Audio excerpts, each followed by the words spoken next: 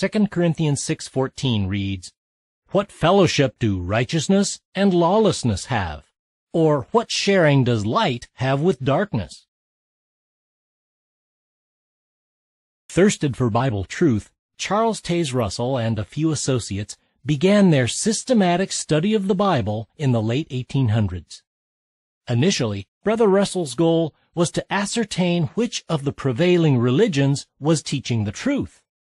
He had carefully compared the teachings of many different religions, even non-Christian religions, with what the Bible says. He soon realized that not one of those religions completely adhered to God's Word. At one point, he met with a number of local clergymen in hopes that these men would accept the truths that Russell and his associates had discovered from the Bible and teach them to members of their congregations.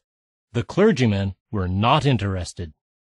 The Bible students would have to face the facts. There could be no partnership with those determined to hold on to false religion.